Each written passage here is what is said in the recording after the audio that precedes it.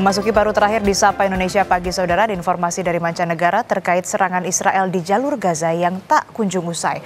Korban sipil terus berjatuhan termasuk tewasnya seorang ibu dan lima anaknya. Serangan Israel menghantam kamp pengungsi di wilayah pusat kota Gaza menewaskan 34 orang. Kini total korban tewas sudah lebih dari 40 ribu jiwa dan 92 ribu orang luka-luka. Serangan udara Israel juga terjadi di sebuah sekolah yang diubah menjadi tempat perlindungan di kota Gaza. 10 orang tewas dalam serangan ini, sementara itu pertahanan sipil Palestina mengatakan saat serangan terjadi 700 orang berlindung di sekolah.